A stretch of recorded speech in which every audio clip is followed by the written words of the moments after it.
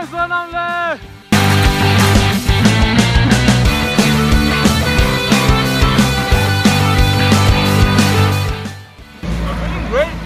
I'm starting to feel the distance on my legs. Okay. And I feel like my neck is kind of frozen now.